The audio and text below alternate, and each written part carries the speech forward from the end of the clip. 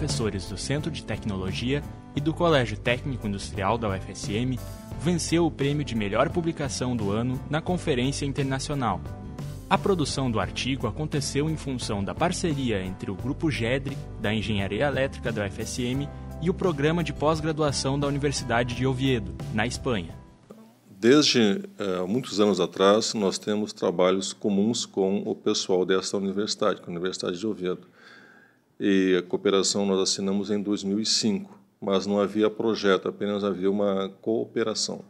A partir de 2011, então, encaminhamos um projeto para a CAPES, CAPES uh, DGU, e aprovamos um projeto para dois anos, renovados mais dois. E nesse projeto consta, constava a, essa mobilidade uh, de docentes e dessa universidade, de Oviedo, na Espanha, virem a Santa Maria ficar um estágio aqui, e professores daqui fazerem um pós-doutorado ou um doutorado sanduíche, os alunos de pós-graduação, ou então um estágio, uma estadia uh, na Espanha. O prêmio foi recebido em Dallas, nos Estados Unidos, pelo professor José Marcos Alonso, da Universidade de Oviedo. Nessa oportunidade, conversando com os professores orientadores, professor Ricardo, professor Marcos Alonso, da Espanha, é, surgiu uma ideia de trabalhar com um circuito para iluminação pública LED. E esse circuito é, tinha um diferencial, uma questão técnica, é, e aí a gente vem trabalhando nessa ideia com pesquisas, é, com a questão do projeto, né, do, do circuito eletrônico para acionamento de LEDs.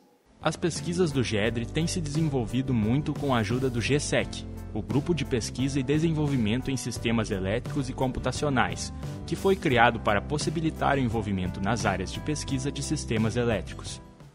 O GSEC conta com a participação de vários alunos nos grupos de pesquisa. Um desses alunos é o Ricardo, que está no grupo desde 2013.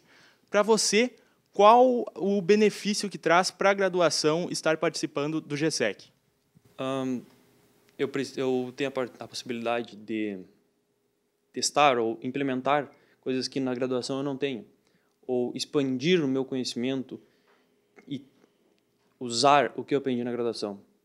Eu, na verdade, comecei em grupo de pesquisa desde 2010, no GEDER também. E estar num grupo de pesquisa me possibilitou sair pelo Ciência Sem Fronteiras mais cedo e aproveitar o meu tempo lá, o que muitas pessoas não têm feito hoje. Entender e aproveitar as cadeiras e o conhecimento que eu obtive lá, aqui.